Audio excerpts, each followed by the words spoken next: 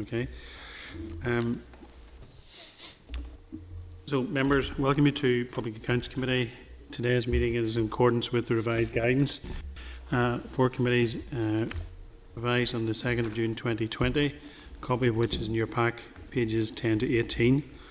Um, could I, to assist proceedings, suggest that all devices are uh, set to mute, except when speaking, and I will ask members to speak in turn. Um, what, what I will do is, um, if members in agreement, obviously those who are, uh, Ms Flynn who's joining us remotely can't indicate, so I can't see she's indicating. So I will um, go to her first, if members who are happy enough uh, that I do that, uh, to ensure that she's included in proceedings. Members are content? Great. So, members, the objectives of today's meeting are as follows to consider correspondence received since March 2020 and to consider the forward work programme up until 20 July 2020 and into autumn 2020. Uh, Mr Kieran Donnelly, CB, the Auditor uh, and Comptroller and Auditor General, and his team will be joining the meeting at item 6. Have members any comments? Okay. Into public session, okay. Okay, members, we're now in open session um, and we have quorum. Uh, so I welcome members formally to Public Accounts Committee. Mobile phones must be set in airplane mode and on si silent or turned off, and it is not sufficient to put mobiles on silent mode as they continue to interfere with the Assembly recording. The session is being recorded in video and audio and can be accessed live via online streaming either on the Assembly website or Democracy Live. Uh, agenda item number, item number one, apologies. Have we any apologies, members? Okay, none. Um, agenda item two, in minutes of the 27th of May 2020, pages 5 to 9. Um, so I refer to the minutes which are in your packs, pages 6 to 9 of your meeting pack. Are members content that I sign those minutes? Content. Content? Content. Okay.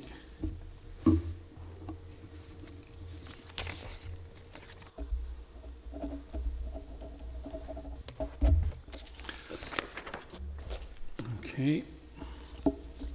Thank you. Um, agenda, agenda item number three, members, pages 10 to 18.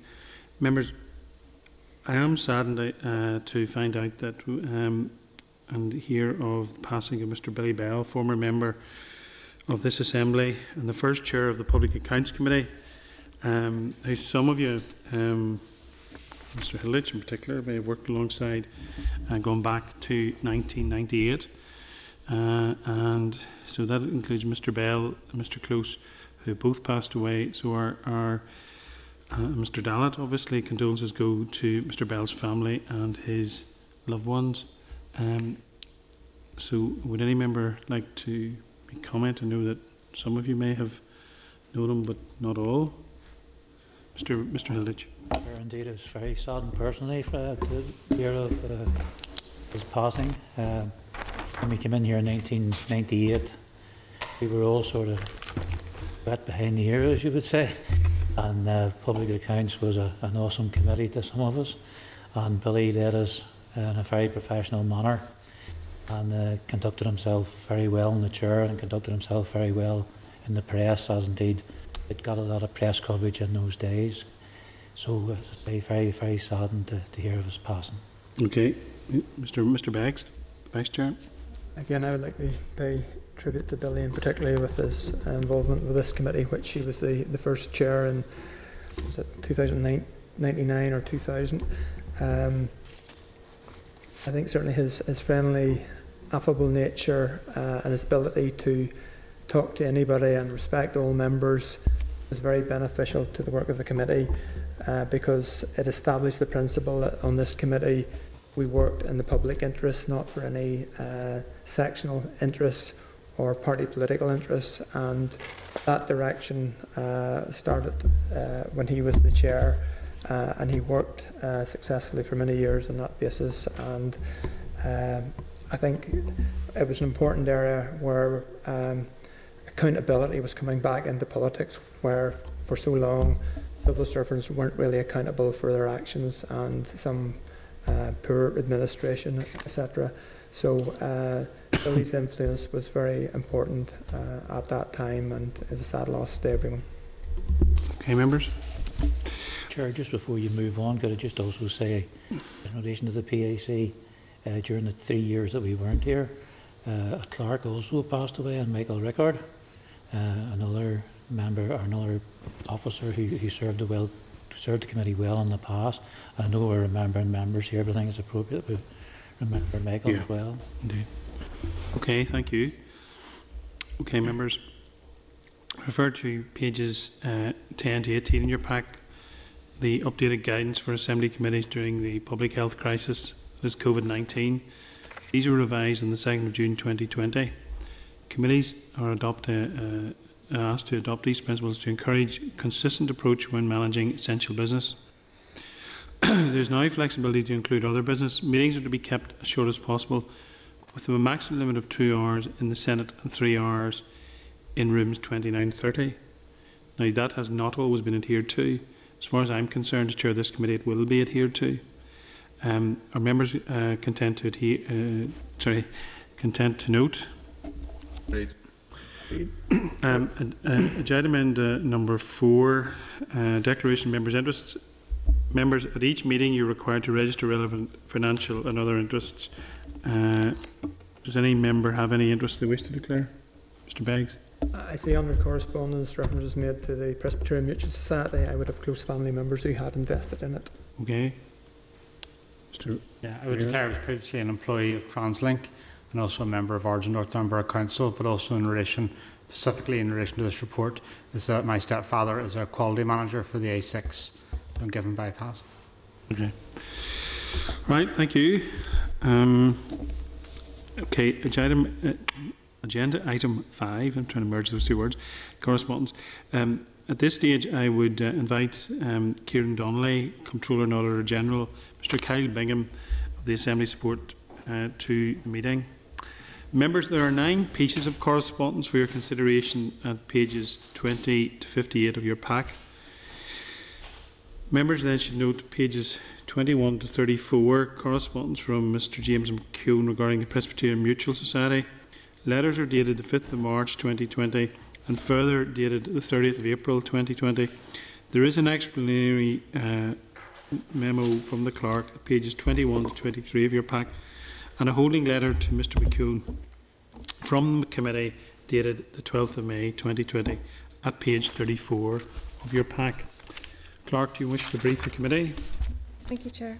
Um, if you refer to my memo, um, um, I give some detail, but essentially, Mr McCune has written both to the Economy Committee and PAC uh, regarding a long-standing issue that dates back to 2014.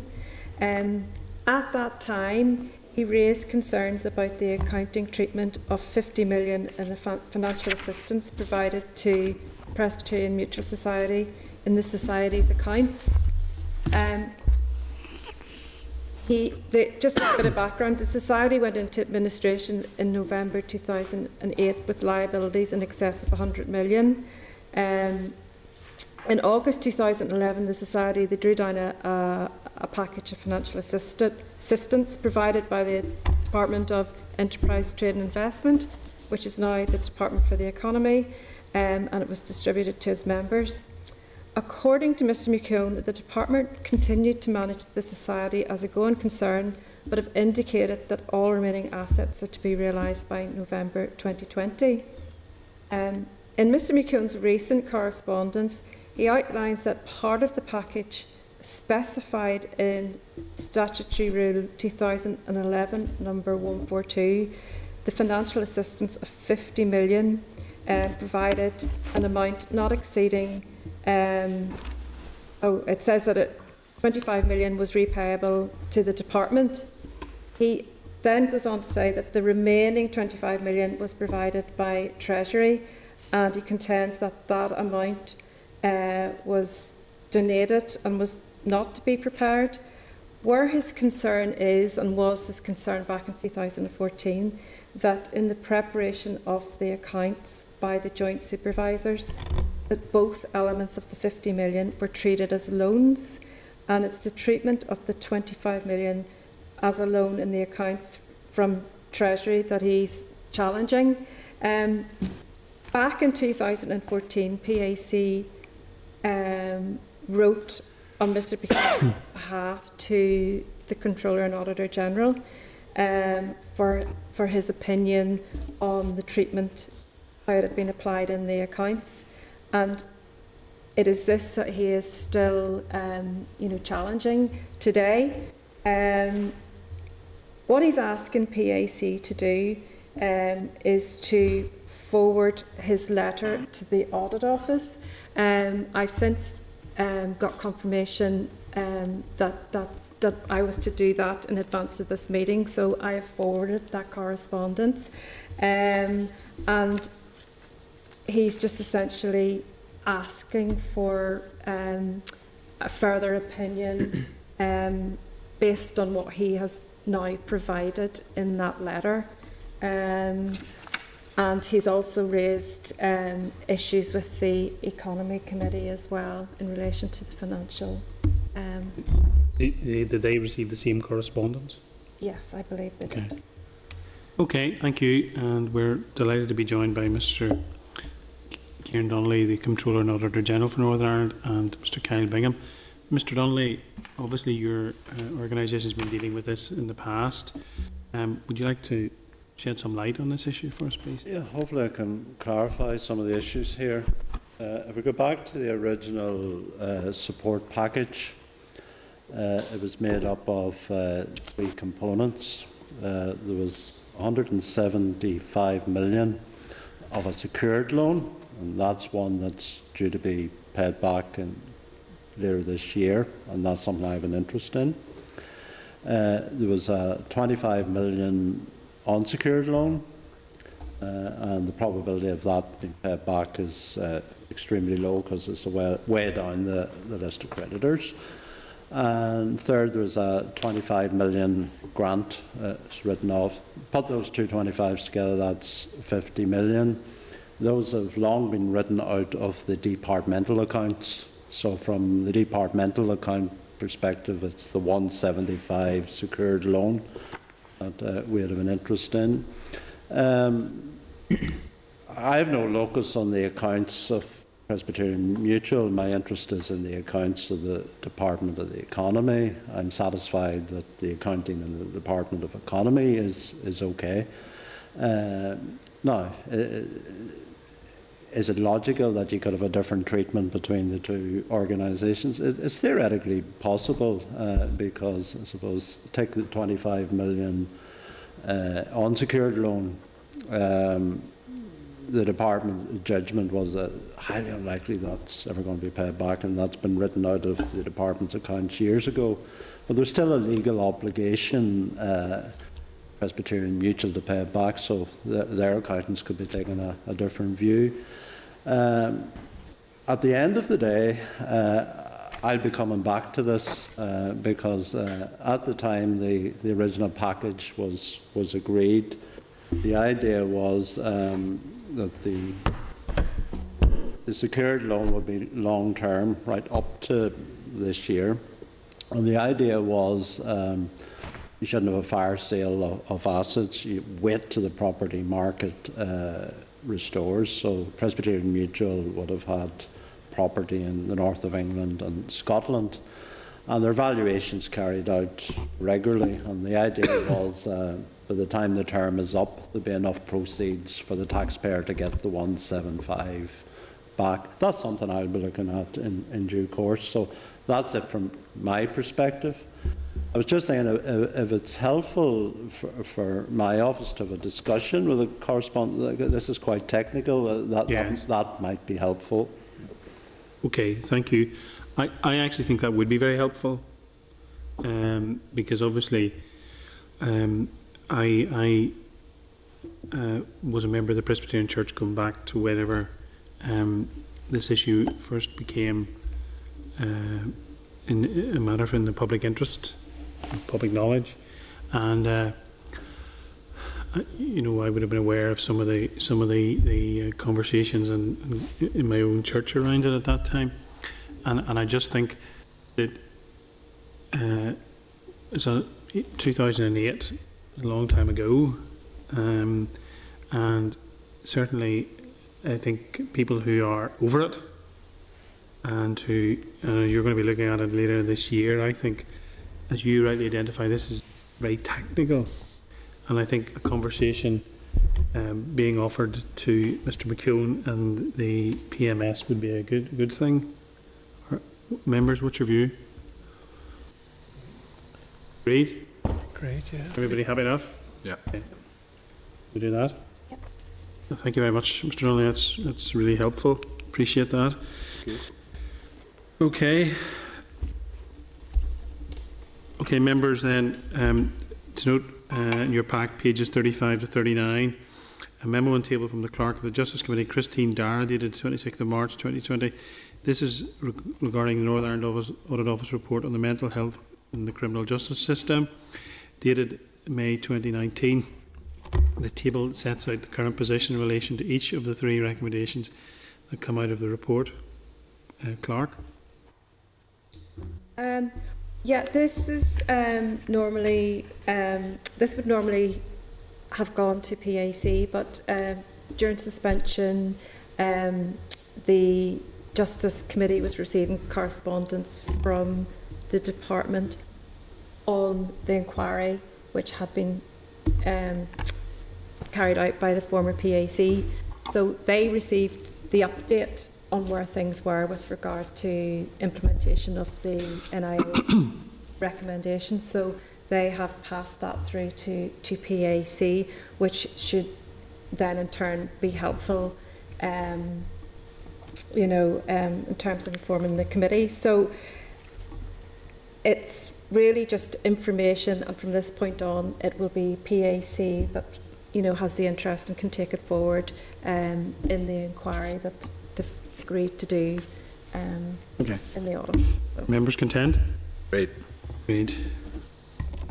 Okay, members then, um, in your pack, pages 40 43, correspondence from the clerk for the Justice Committee, Christine Darragh, dated the 26th of March 2020. Letters dated the 25th of March 2020 to uh, PRO Anne uh, Connolly OBE, uh, Chair of the Policing Board, and a letter to Naomi Long, MLA, uh, Minister for Justice, uh, both from Paul Givan, MLA, Chair of the Justice Committee. Correspondence with respect to the Northern Ireland Audit Office report on the inquiry on the duty schemes for officers in the police, sorry, policing service in Northern Ireland and the prison service in Northern Ireland, requesting what action to be taken in relation to those findings. Are members content to note? Yep. Okay. Yep. Members then note in uh, your packet, page 43, correspondence dated 26th of March 2020 from Mike Brennan, Permanent Secretary, the Department of the Economy, in response to the committee's letter to the department dated the 20th of March 2020. In respect to Dr. Edward Cook, the department has uh, advised Mr. Cook the matter is being investigated. Are members content to note this correspondence? Great. Okay, thank you. Um, members, are you content to, uh, Mr. To write to Mr. Cook advising him that the matter is being taken forward by the Department for the Economy? Agreed? Thank you. Members, note in your packet, page 44, correspondence dated the 8th of April 2020 from Ms Tracy Meharg, Permanent Secretary for Department of Communities regarding the PAC report issued on the 16th of February 2011. Administration and Management of Disability Living Allowance and Appeals Process Report. The committee is informed that two of the three recommendations have been implemented and the third uh, removed from the Accountability Grid database as agreed with the Department of Finance. Are members agreed to note this correspondence? Great. Um, members, to note in your pack, pages 45 to 54, correspondence from Tracy Meharg, Permanent Secretary, Department of Communities, dated the 1st of June 2020, re governance issues in sport NI, findings and recommendations. Are members content that we take this item in closed session uh, once we've considered the rest of the correspondence uh, under this item? So we will deal with the rest of the correspondence and then we'll return to this in closed session. Member, happy enough? Great. Okay, Thank you.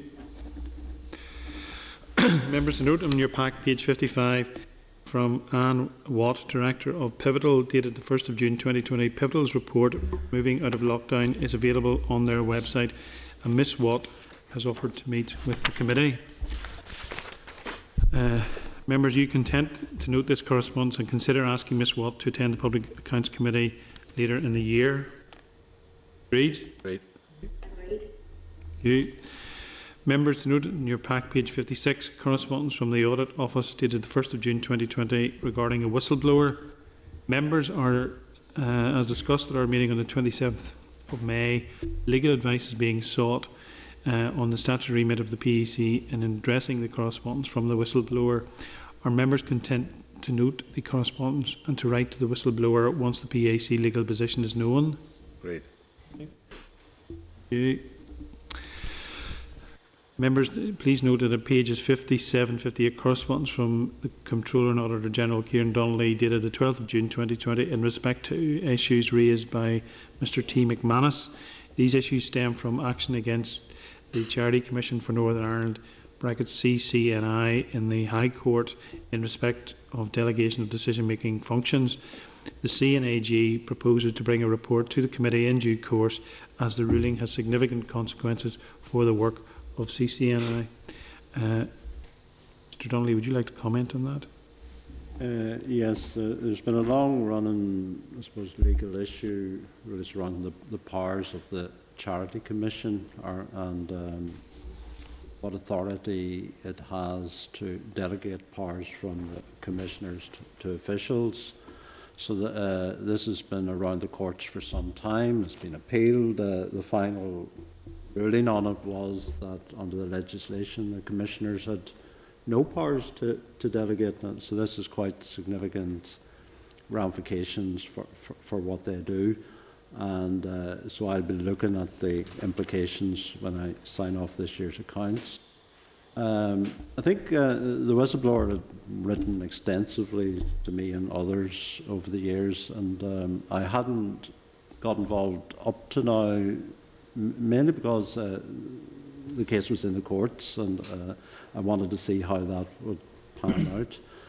Now, um, it's most unusual for, for any public body to have uh, a sort of situation where nothing is delegated to, to officials, where all decisions are taken, big and small, at the at the at the board level. So whether um, I suppose the sponsoring department thinks a change in regulations are needed is, is a moot point. That's something I'll be looking at as well. So it's uh, and also whether this ruling has any implications for other arm's length bodies that were set up in a in a similar way. Mm-hmm. Do you, do you think, if I may ask, do you think that's likely?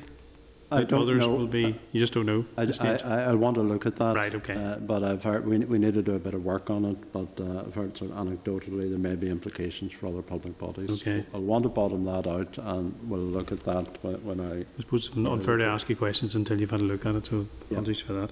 So, members, are you content to note this and write to Mr McManus in line with Mr Donnelly's letter to the committee dated the 12th of June? Great. Agreed. Okay, at this stage, members, we will move into closed session.